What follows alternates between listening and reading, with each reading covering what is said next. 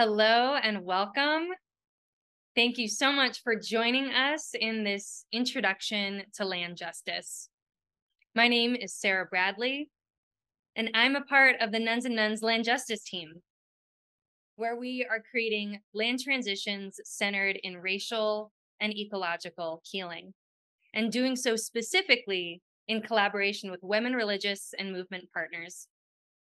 Through our flagship Focus Community program, we work closely with seven to 10 religious communities to incorporate land justice into their property planning process and upcoming land transitions.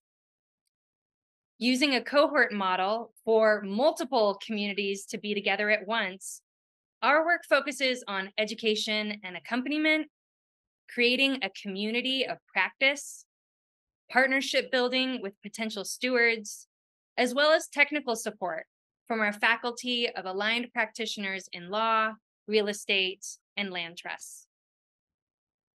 Plus, to support the broader ecosystem of land justice, we also offer public programming to educate and mobilize other landowners, people of faith, and aligned activists to practice land justice in their own contexts and spheres of influence. We define land justice as the practice of centering social, racial, and ecological justice in decisions about how land is used, loved, and governed by people. There are three key and intertwined components of land justice. First, protecting land from extractive development. Second, regenerating the health of ecosystems. And third, shifting equity and control of land to communities who have been systemically dispossessed of land, especially Black and Indigenous stewards. Our hope by the end of this session is that you will know a whole lot more about land justice and why it's needed. We hope you will come away with an understanding of how the church and its purported doctrine of discovery created the conditions of our extractive economy and private property system, as well as the outcome of those projects, namely the climate crisis and pervasive and systemic racism.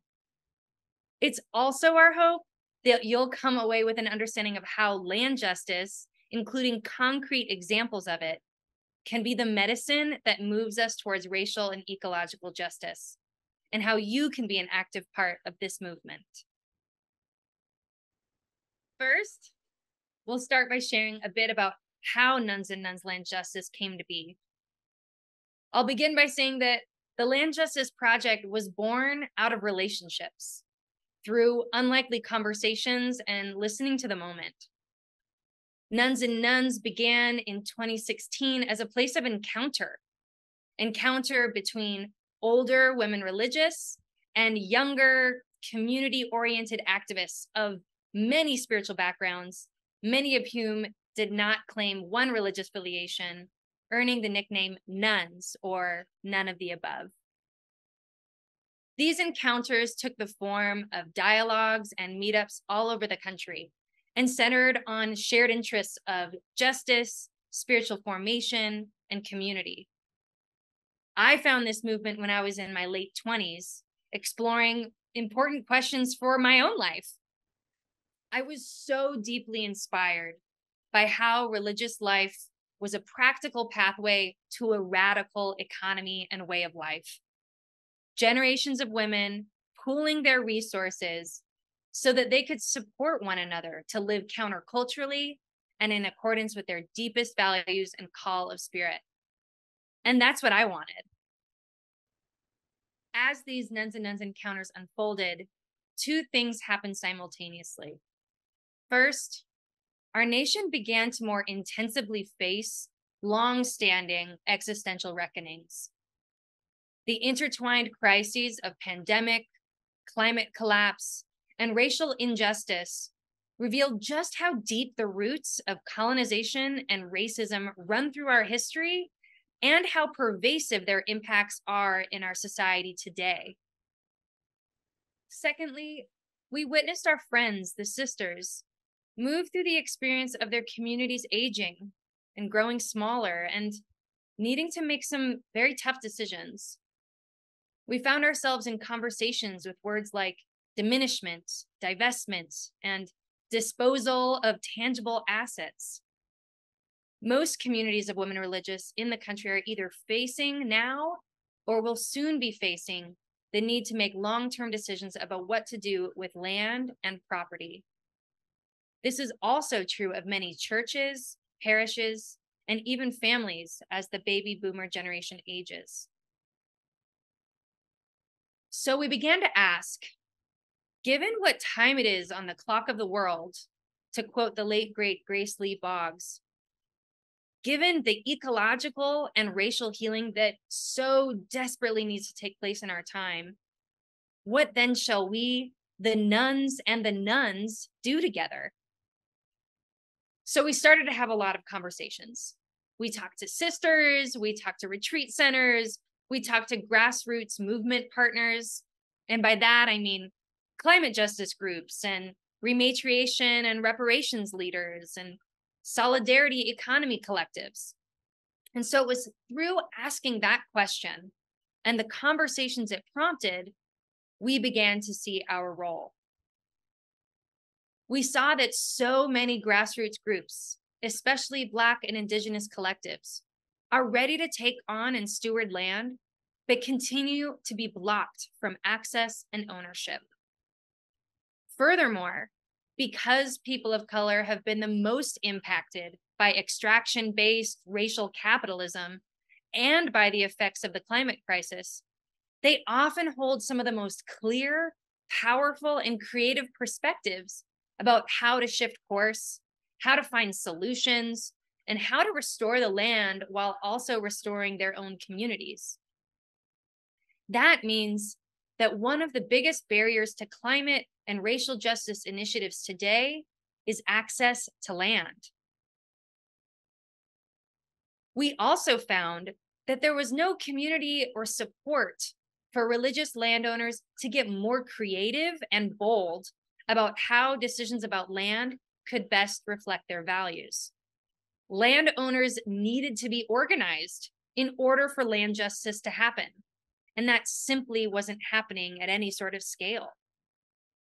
So, with the steadfast encouragement of sisters and movement partners, the Nuns and Nones Land Justice Project was born in 2021 with the purpose of supporting religious communities to incorporate land justice into their property planning. Now, decisions about property can feel daunting, and they're often held in this very narrow business mindset rather than a holistic or values rooted one. People often separate their justice work or their ministry from these kinds of decisions. However, in the first two years of this work, it's become clear to us that land and property is key to both racial and ecological healing in this country. Who owns it? What happens on it? Who governs it? Land plays an integral role in how communities heal among themselves and heal with other communities. Land holds our stories, and she is the site of our country's great original sins. As such, repairing those harms through the decisions we make about land today can be our hope. And it's how we will create a livable future for all of us. So, we see the potential for property decisions to bring forth powerful transformation in our society. If people of faith were to center land justice in their property decisions, it could be one of the most significant things we do. It could help tell a new story of what's possible. But in order to tell a new story, we have to understand the old ones we're living in right now.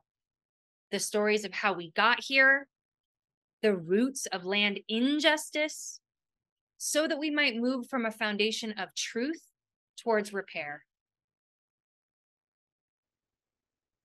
In his writings about sustainable economies, E.F. Schumacher wrote One who uses an imaginary map thinking that it is a true one, is likely to be worse off than someone with no map at all. For 500 years, when it comes to our dominant culture, and especially land and property, this has been our map.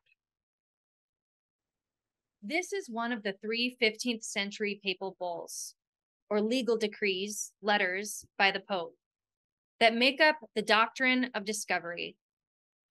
These decrees compelled European nations to, quote, invade, capture, vanquish, and subdue all non Christians.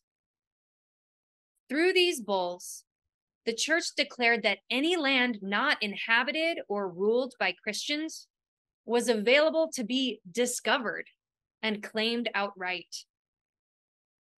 These papal bulls acted as the legal, political, moral, and spiritual justification for some of the most heinous projects of the next centuries the genocide of indigenous peoples and theft of indigenous lands, the transatlantic slave trade, and by 1914, the colonization of 84% of the land on Earth by European nations and their descendants, including the landmass now called the United States. These decrees were inherently white supremacist and Christian supremacist, and they justified grotesque violence. As many of you are aware, the Vatican recently repudiated the doctrine, stating that its ideas are antithetical to Catholic teaching. However, it's critical to clarify that this announcement did not formally repeal or rescind the doctrine, it did not take responsibility for its implementation. It did not put resources towards making amends or reparations, nor did it extricate it from our current legal system. The doctrine of discovery is an active legal doctrine in the United States. It is a linchpin in the foundation of modern property law. 200 years ago this year, in a case called Johnson versus McIntosh, the Supreme Court enshrined these papal bulls into US law, citing that, quote, discovery is the foundation of title, and this overlooks all proprietary rights in the natives. Now, this is one of the first cases that new lawyers learn in law school. It is considered one of the bedrock cases in US property law to this day, and it set the precedent for everything else that would follow. The papal bulls have been cited by the Supreme Court as recently as 2005 in a case that ruled against the Oneida people who were trying to recover their stolen land in what is now upstate New York. A majority opinion, mind you, written by Ruth Bader Ginsburg. Again, at the time of their writing, the papal bulls that make up the doctrine of discovery served as the justification for European settlers to seize land inhabited by non Christians, but also to behave as if non Christian and non European people were less than fully human. This legacy is still present with us today, and not just as an echo, but as an active ideology that is practiced through our dominant culture and systems and takes many shapes. Many of you will recognize this image from school history books. It depicts manifest destiny, or the westward expansion of white settlers into what is now the United States. Notice that as the angel and the white farmers are moving in, the native people and the buffalo are fleeing almost disappearing off the page. White settlers believed they had the right to kick people off their land, to destroy their way of life, and to take whatever they found. This belief is rooted in the doctrine of discovery. This image also promotes the false idea that as the United States grew into what it has become, the peoples indigenous to this land just disappeared and gave up. which is obviously not true. What's not pictured here is that settlers also believed they had the right to capture and enslave indigenous African people and bring them here to work the lands they stole, thereby creating an economy that depended on the domination not just of native land, but Black bodies, knowledge, and labor. We see how this system shapeshifts in the many ways that people of color are dispossessed of land still today, how immigrants of color are exploited for their labor, and how people who control land and political influence find new ways to extract profits through destructive behavior. Again, this is an economy that is built upon extracting wealth from the land and the labor of people of color, and it bears a direct line of connection to the papal bulls.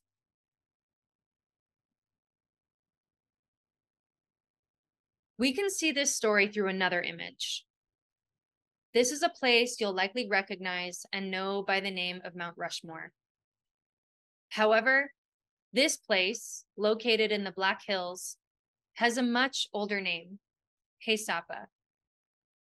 It is one of the most sacred grounds for the Oceti Sakowin, the Lakota, Dakota, and Nakota people. It is their emergence point, akin to a Christian's Garden of Eden. Led by the US Army and the greed of gold mining interests, white colonists stole these sacred hills using violence, knowingly breaking a treaty in which the US had agreed to never touch these hills.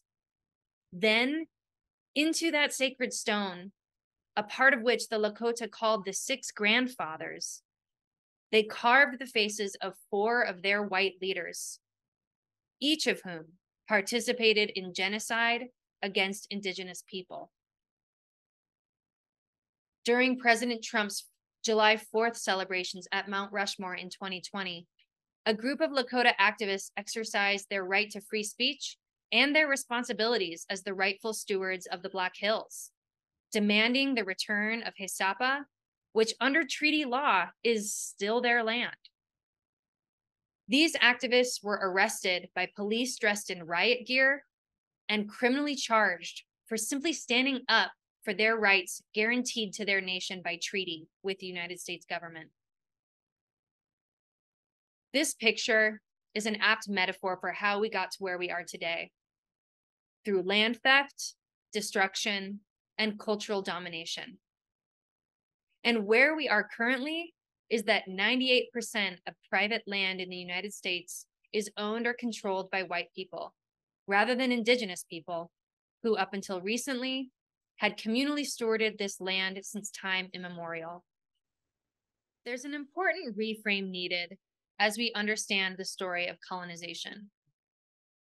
Many of us grew up with the idea that the US is a nation of immigrants.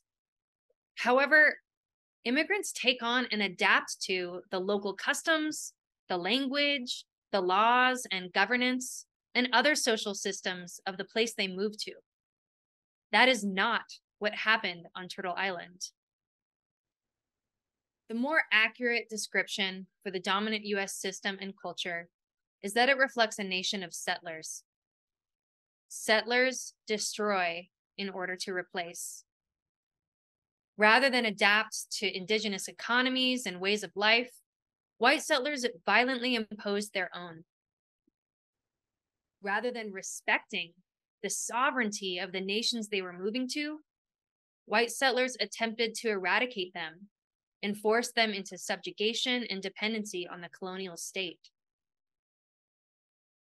So, to review the land story here, it was through the doctrine of discovery that indigenous lands were stolen and allotted into parcels, and then given or sold to white people by white colonial governments.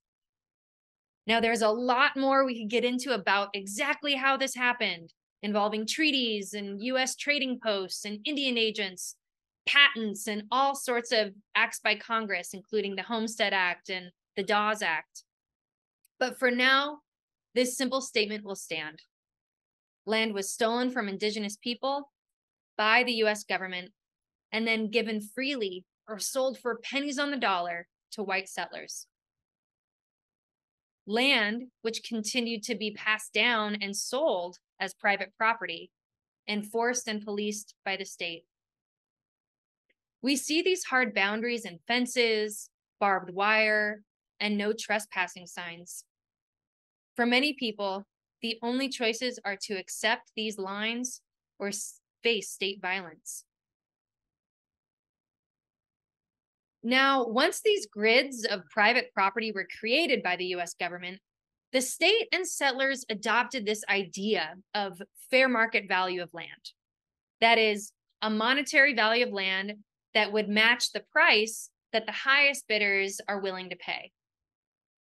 Fair market value of land is often thought of as natural and inevitable, but it's important to remember that it's a fairly new practice in human history and there have been many other ways societies have made decisions about land. Fair market just means that the people with the most money, not the people with the deepest relationships or the ones best positioned to steward land, get to decide what happens to land. As such, it might be much more accurate to call this concept unfair market value. And as will likely surprise no one here, in US society, the highest bidder is statistically most likely white. Today, the median white family in the US has a net wealth of $147,000, while the median black family has a net wealth of 3,500. This is but one facet of the racial wealth and wellness gap. The racial wealth gap comes from an accumulation of many forms of harm to communities of color.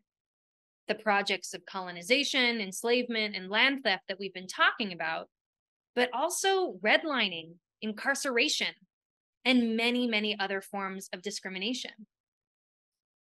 On the other side of the wealth gap, white people in our society have accumulated massive amounts of wealth because the system has been designed for us to acquire and then pass down property to heirs over centuries. White families have 16 times more wealth than Black families. The average Native American household has eight cents of wealth for every dollar of wealth in the average white American household. Native Americans have the highest national poverty rate at 25.4%, compared with 8% for white Americans.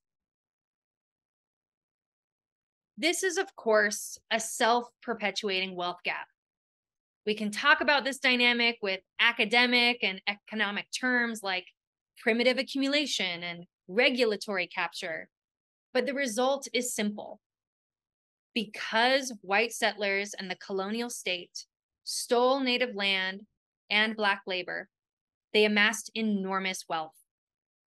And because those with wealth can leverage it to direct political agendas, they protect and increase that wealth and status through our various social systems across time. In land, we see that the result today is that 98% of private rural land and 95% of urban land is owned by white people. Meanwhile, people of color continue to be the labor backbone of our economy comprising 70% of the farmers in this country.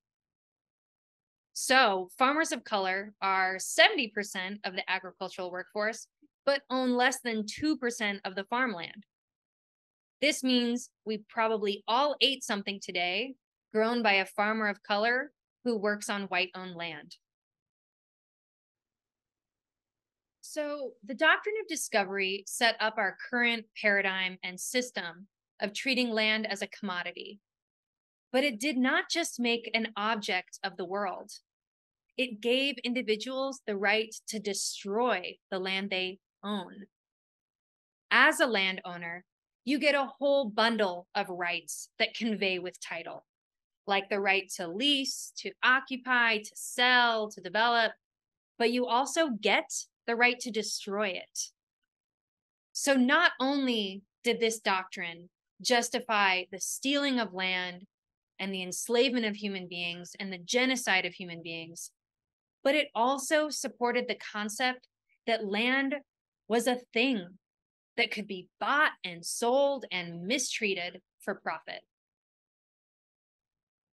Last April, we hosted a conversation with four Indigenous and Afro Indigenous leaders about the doctrine's repudiation. In that conversation, Dene elder Pat McCabe put it simply the doctrine wasn't just a moral or ethical imposition, it was the beginning of the destruction of this Mother Earth in her entirety. The church's logic of white Christian superiority over all of creation was cemented into a modern economy that hinges on the extraction of people and the earth for the profit of a few. And with that, we need to recognize some plain facts. Since those papal bulls and the colonial contact that followed, in the US, we have lost 90 to 95% of old growth forest. We've lost 99% of prairie and a third of our topsoil. It is estimated that we have less than 60 harvest seasons of topsoil left and we are losing it far faster than it can be replenished. Meanwhile, land is being developed at a rate of 1,500 acres a day. And from the Willow oil drilling project in Alaska to Enbridge oil pipelines in the Midwest, our elected officials, banks, and businesses continue to promote and profit off this destruction. Again, all of this has happened during the centuries and decades when land has been in the overwhelming control of white settlers in the state 98% of private land. So we have to ask the question if settler colonialism is destroying to replace, replace with what? What kind of society? What has the doctrine of discovery created in and through us? To turn the tide in this society, we need to recognize our need for leadership that is appropriate for the task at hand.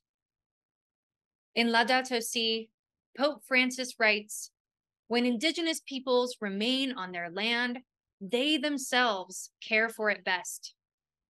He implores Catholics to build relationships with indigenous people as the primary dialogue partners when it comes to care for the earth. Of course, science backs these assertions.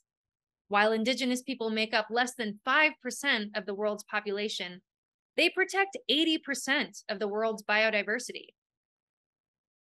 And we can see it here in this aerial image of the aftermath of the bootleg fire in Oregon, where the completely scorched area there at the top was managed by the US Forest Service. The slightly damaged but still surviving area down there at the bottom was co managed with the Klamath. And the area that made it out the best, there in the middle, was under sole management of the Klamath tribe. Indigenous people, when allowed to practice their communal traditions and land management systems, know how to care for and steward the land they have co evolved with. This is one reason why the land back and climate justice movements are so intertwined. When we make these connections, it becomes clear that racism and colonization are the root of our climate crisis. And the church bears a significant responsibility for the project of colonization that has led us here and that maintains the status quo. And so, even though the Vatican has publicly rejected the statements made in these bulls, the damage has been done. It's not enough to say, sorry, we were wrong. While apologies are necessary, alone they are insufficient. As Catholics, if we want to engage in the work of healing and repairing both ecological and racial relationships, we need to grapple with this history and our role in it. And we need to do the work to undo the damage, both to land and people. Our friend Sarah Augustine, a Pueblo minister from New Mexico and leader in the Mennonite church, says of the doctrine of discovery what was done in the name of Christ must be undone in the name of Christ. After hundreds of years of the racial harm and ecological destruction that has been brought about by the doctrine of discovery, we are today witnessing a growing movement to address these harms, a movement to engage with the world from a completely different paradigm. So the legacy of the doctrine of discovery can be undone. Pope Francis also wrote in Laudato Si now is not an era of change, but a change of era. By doing land justice, by taking responsibility for this legacy and joining the movements for mending it, we can contribute to that change of era. The Catholic Church, as an actor and instigator of the project of colonization, as well as the single largest private land owning entity in the world, has the potential to leverage great resources to tangibly address the climate crisis, regenerate ecosystems, and correct these wrongs of the past and present. And women religious and lay Catholics in the United States can lead the church towards what is right. Now, you might be asking, okay, I get the need for land justice. I understand its importance in this moment, but how? What does it look like? Well, we're going to show you. I'm going to give a few examples, but I'll also say that when it comes to making choices about land, many of us have the false idea that we can either prioritize ecological healing or prioritize racial justice, but not both. And that's a false binary. Perhaps there are many rigid binaries in our mind when we think about land. So instead, we imagine land justice to be more like this a colorful space in between, full of creativity and possibility.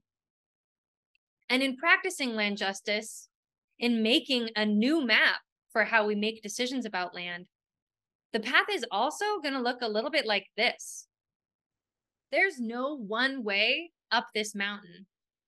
If the goal is land justice and we're walking towards it, every community is going to be working with a different context. And if you think about it, when we're moving without a map, we actually have to pay a lot of attention all of a sudden. Like, where is the sun rising and which way is north? And where's the water? What's the slope of this terrain? Those kinds of questions. So, I'm going to invite you into the practice of attentiveness, of looking for clues for how you might move forward as you receive these stories. And I'll also just say, I feel like I have the best job in the world because I get to be a student of promising examples like these. And I'm here to say that they are happening, they're out there. And this time requires immense imagination and creativity. So don't even let these stories limit your imagination. The Land Justice Project is here to help support the process. And I haven't learned as much as I have in my life, my entire life, than I have in the past two years as we've opened up these questions and learned from the people doing this on the ground. So I'm going to give four short stories of how religious landowners have taken steps towards land justice. And the first one is the Shinnecock kelp farmers and the CSJs of Brentwood, New York. This is a picture of the Shinnecock kelp farmers, six women indigenous to the area called Long Island. Their project began because these women saw that all the Hampton Bays on Long Island, including Shinnecock Bay, were being polluted by billionaire septic systems and golf courses, causing huge algae blooms and dead zones. Now, the Shinnecock carry an ancestral practice which is extremely helpful in this situation growing kelp.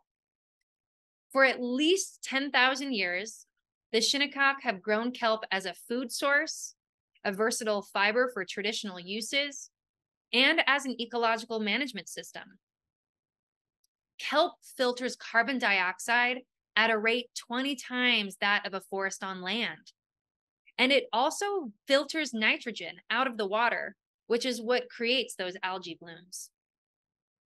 So, the Shinnecock wanted to reclaim their traditional practice in order to clean the waters. But because of the system and the story we've named and are living in, their reservation is relegated to the marshiest part of the bay. So they needed better coastal access. And guess who had some? Why, the Sisters of St. Joseph in Brentwood, New York. Their nine acre retreat center property is right there on Shinnecock Bay. I'll shout out here that the CSJs in Brentwood are one of our first seven focus communities. The Shinnecock knew that CSJs because some of those sisters had been showing up to their protests for a few years. So Becky, the elder in the Shinnecock group, and she's the second from the left in that picture, went up to Sister Joan Gallagher and said, This is what we want to do. And Joan said, Absolutely. Whatever you need will help. So together, they turned a building of the retreat center into a kelp hatchery, and the Shinnecock revived this 10,000 year old practice. The sisters donated a car to one of the members who was having transportation issues so that she could keep coming and farming. And what Joan says of this relationship is really beautiful. She says, being in relationship with the Shinnecock in solidarity must be at the heart of who we are. Because a future emerges from the relationships that we cultivate in the present.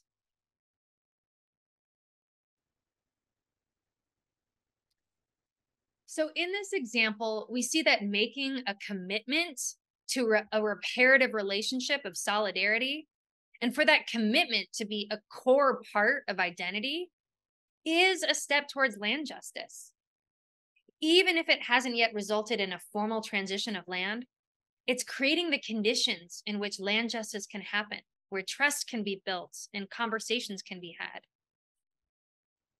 Number two, a cultural use easement.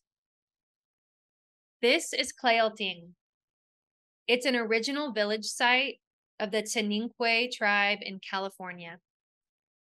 This land is their sacred village site where they would hold all of their ceremonies.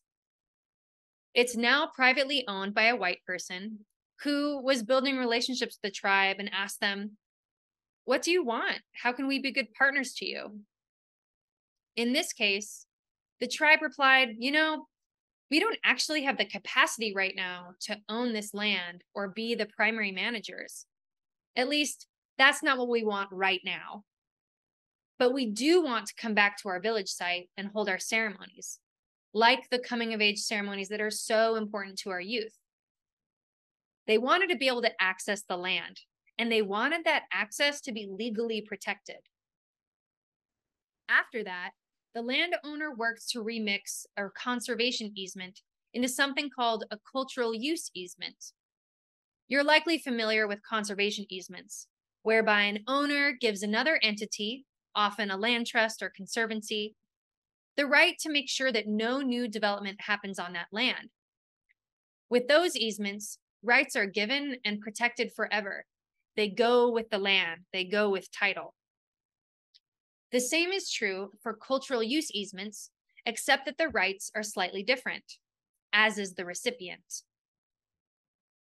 With the cultural use easement, a tribe or members of a tribe are given the right to access and use the land for gathering medicinal plants, practicing ceremony, or any cultural or educational practice. And that right is protected in perpetuity. So here, the trauma of broken promises and treaties that many Indigenous people have faced is, in a way, eased by this legal agreement. Now, this is a, a bit of a blurry picture, but It shows the Tsaninque people doing their coming of age ceremony for young women, the flower dance, at their ancestral village site for the first time in 300 years. They got to do this ceremony knowing that they'll be able to return and do this dance every year from now on. Okay, number three. This is Stony Point Church in the state of New York. It's a Presbyterian church that, back in its heyday, had about 200 people in pews on a Sunday.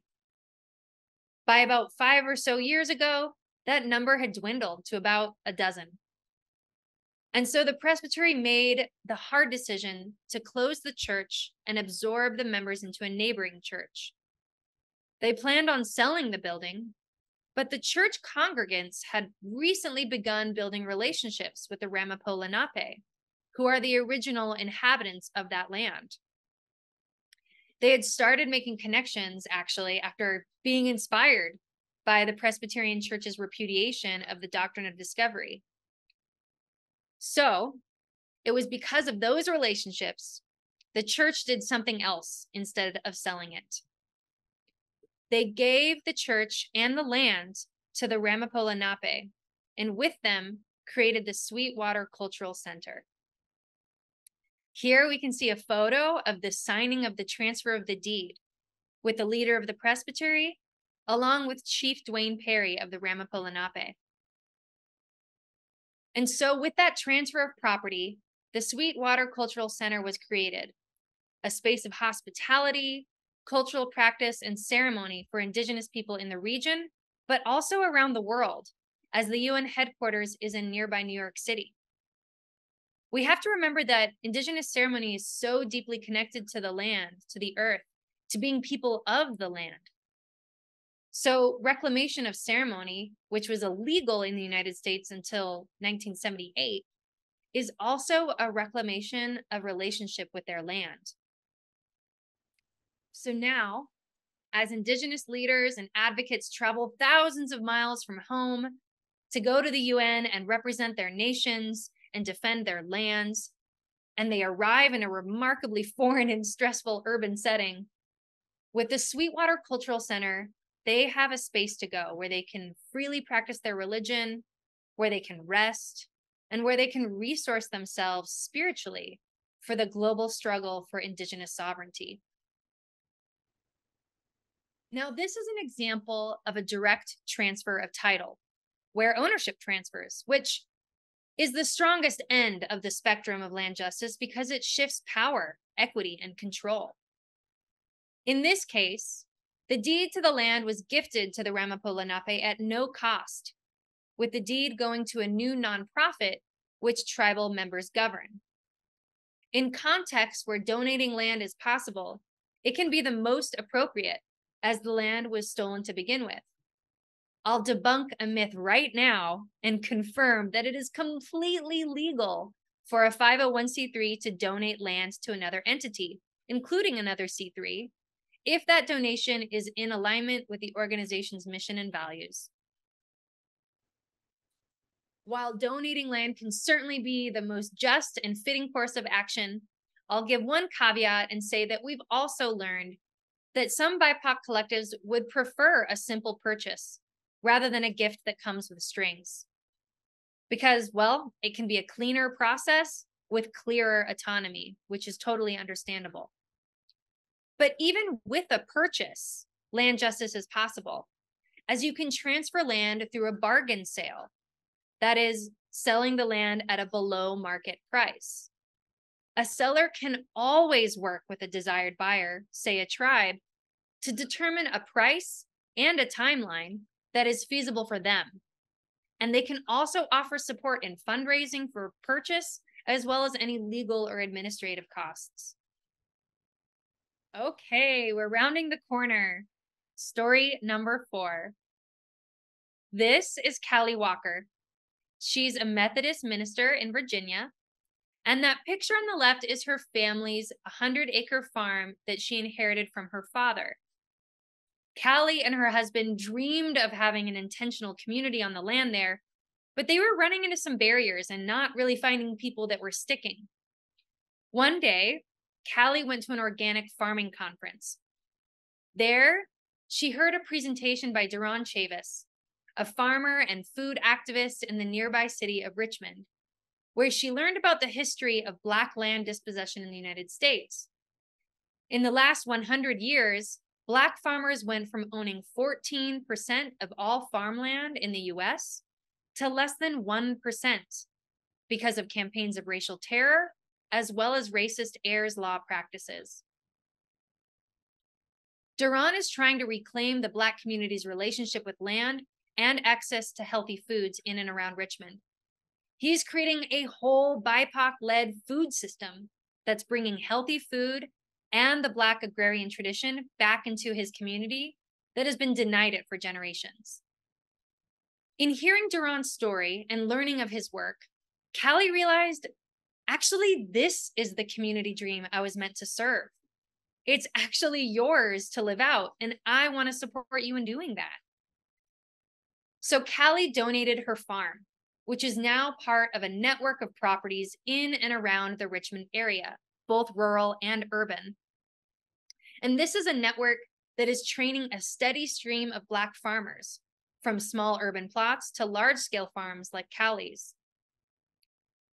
And this entire network of properties is communally owned in a really special and different kind of land trust called an agrarian commons, which is designed to protect long term farmland tenure for farmers.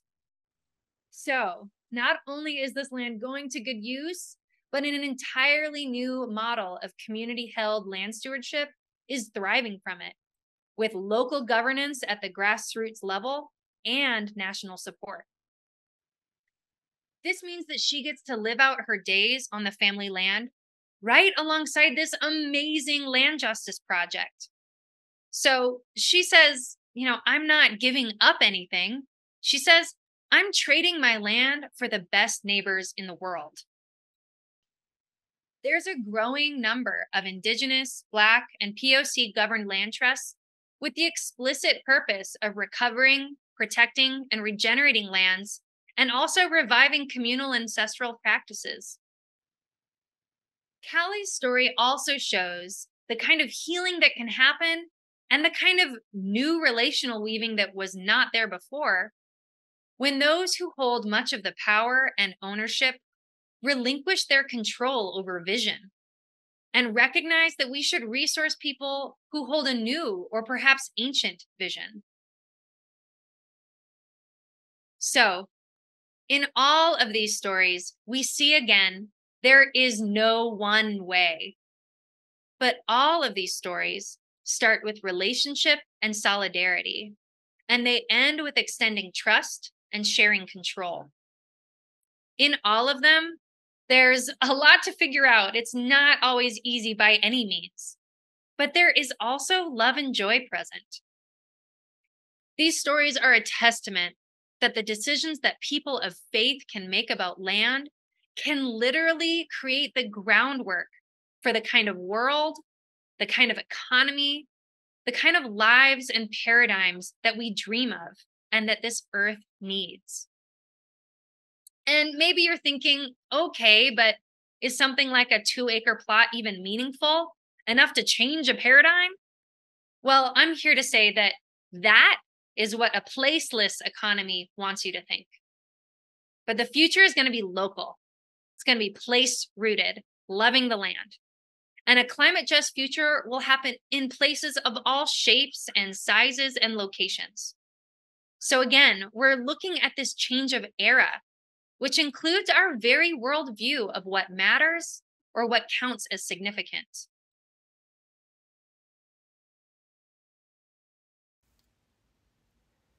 You might be familiar with this image from Meg Wheatley. This is an image of a dominant system coming to a close and an emergent system arising from the ashes. We are in a change of era, and many of the institutions around us are in this moment of transformation. So we're kind of between worlds. Perhaps you feel that acutely where you are. Meg Wheatley does a lot of work to identify different roles and jobs related to this transition work. With land justice, we're talking about who is resourcing the new paradigm? So, who's helping to create the places where this transformation can happen? The places that can lay the literal groundwork for a justice rooted, climate resilient future. Religious communities can be very powerful in this moment. If communities opt to do land justice and do it together, it could change so much of what's possible in this world. Not only because you can change what happens on the lands that you love, but because you're one of the most forward thinking, culturally powerful constituents of the largest private landowner in the world, the Catholic Church. So, what you do and what you do alongside other religious communities could change the way the largest private landowner in the world thinks about land. Imagine if land justice were the new precedent for how any religious group made decisions about the future of their property. Imagine what kind of future those decisions could open up. We need communities to help make those futures possible by rolling up their sleeves and exploring new models but this work doesn't have to happen in isolation or silos. The Focus Communities program is designed to create a community of practice for women religious from all over who are learning how to bring this vision to life in their own context. Together, we are creating new stories on sacred lands. So we hope you'll join us. Please click the link below to learn more about our Focus Community program, and thank you so much.